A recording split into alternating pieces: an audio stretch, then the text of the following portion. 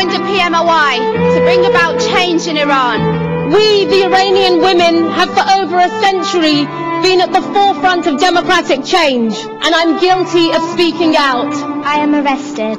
I am taken to Ghezel Hesar prison. I am in Evin. What is my crime? What is my crime? My crime, crime, crime, crime, crime.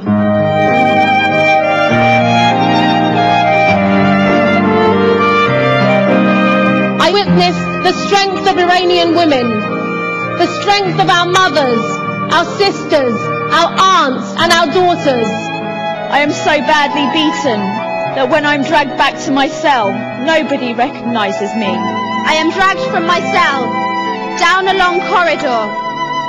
I am dragged to a cage and forced inside. It is so small I don't know how I am to fit inside. I am eight months pregnant.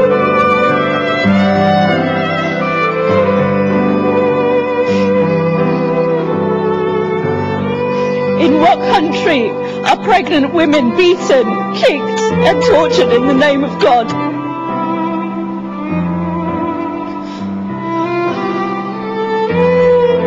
I know excruciating pain. But I am not scared. They cannot break us. Be strong. Resist. We are being led to our death, cell by cell, corridor by corridor, ward by ward.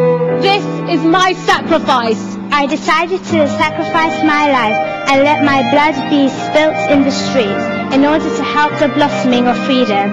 I am not the first, and nor will I be the last to lay my life down for this country in pursuit of freeing it.